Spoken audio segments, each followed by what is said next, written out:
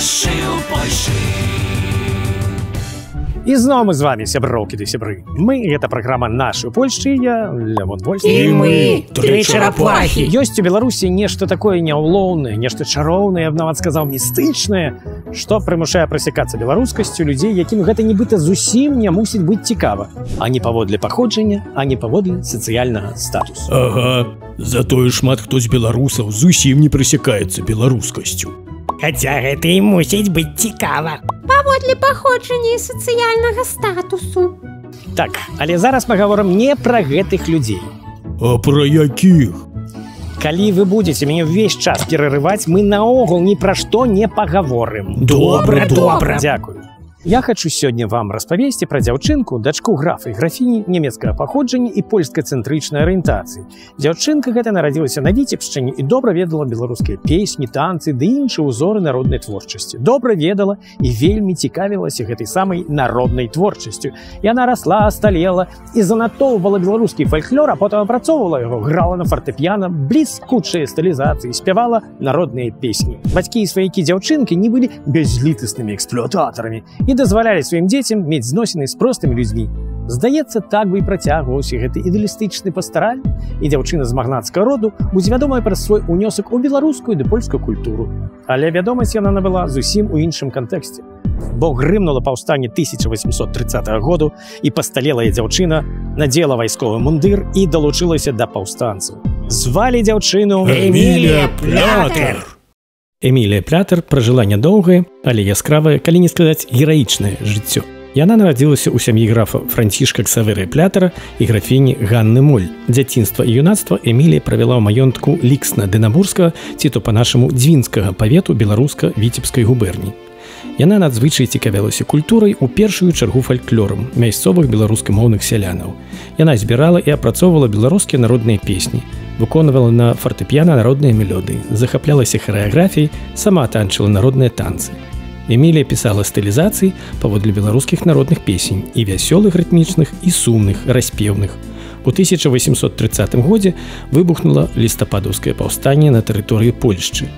Падчас успышкі паўстання на землях былога вялікага княства літоўскага Эмілія далучылася да вызвольнага руху. Яна падстрыгла валасы, падрыхтавала для сябе вайсковую форму і сфармавала паўстанскі атрад, які складаўся з некалькіх сотняў пехацінцаў, вершнікаў і ўзброеных косамі сялянаў. Увесну 1831 году паўстанцы атраду Эмілі Плятар здзяйснілі некалькі перамогаў над расійскімі войскамі, але 8 ліпеня былі разбітыя акупантамі. Эмілія цягам доўгага часу мучылася ад стомы, голаду і бяссоння і ў выніку сур'ёзна захварэла. Так і не крыяўшы яна пайшла з жыцця 23 снежня 1831 году. На той момант Эмілія Плятар мела ўсяго 25 гадоў. Бачыце, якая гераічная дзяўчына нарадзілася ў нас на віцебшчыне. Насамрэч усё не было так ужо зусім пастаральна, бо Эмілія у юнацтве брала ўрокі верхавой язды, фехтавання і стральбы з агняпальнай зброі. Нічоганькі сабе. Як у прыгодніцкім фільме. Ці вэстэрне. Так, адно што ў гэтым выпадку абышлося, на жаль, без хэпі-энду. А мы з вами зараз у варшаве ў ейным цэнтры на вуліцы Эміліі Плятар. Варшаўская вуліца Эміліі Плятер пачынаецца са скрыжавання з вуліцай Кошыковай і сканчаецца на вуліцы Твардай. Гісторыя вуліцы пачынаецца з 1872 году. Тады яна была забудаваная ў большасці арэнднымі дамамі аўтарства архітэктара Вайды. Да 1914 году практычна ўся вуліца была забудаваная. Да 1916 насіла назву Леапальдыны, Цяперашняя назва Эмілій Плятар была дадзеная ёй у 1916. Падчас другой сусветнай вайны забудова вуліцы была часткова знішчаная. Калі будаваўся палац культуры і навукі, вуліцу падоўжылі ў паўночным накірунку. На вуліцы Эмілій Плятар ёсць два пешаходныя пераходы туру фортэп'яна. Гэта напамін пра тое, што ў варшаве 20 гадоў жыў Фредерик Шапен. На вуліцы Эмілій Плятар мы можам пабачыць касцёл святых апосталаў Петра і Павла, калісьці зруйнаваны фашыстамі і наноў адбудаваны. Камяніцу Адольфа Віта, прамысловы будынак збудаваны сям'ёй вітаў. Гэта невялікі завод, які функцыянаваў ад 1890 і да 1939 году пад назвай Адольф Віт і сын. выяву маткі боскай у двары дому нумар 14, якая была створаная падчас акупацыі каля 1944 году. Такія міні-каплічкі досыць распаўсюджаныя на варшаўскім щерудмесце, часткай якога ёсць вуліца Эмілій Плятар. Неабаракальны палацык пабудаваны ў 1900 годзе архітэктарам дзяржаноўскім.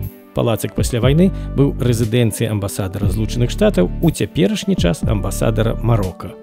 Скульптуру і льва, які рыхтуецца да скачка на фасадзе дома нумар 25 захавалася з даваенных часоў.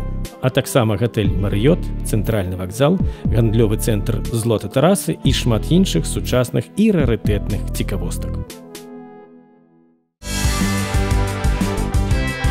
Нашы ў Польшы. Спадзяюся уся гэта інфармацыя будзе для вас карысна. Бачыце колькі было паўстанняў і касцюшкі таксама наш зямляк дарэчы.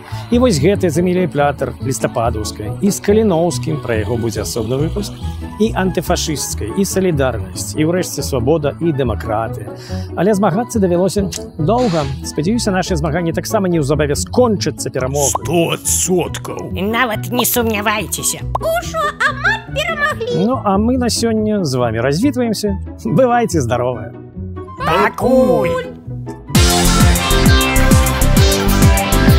Мы тры чарапахі па свеце вандруем і шмат чаго бачым і шмат чаго чуем. На спіне мы носім утульныя хаты. А ў свеце паўсюль беларусаў багата а ў свеце паўсюль беларусаў багата а ў свеце цяпер беларусаў багата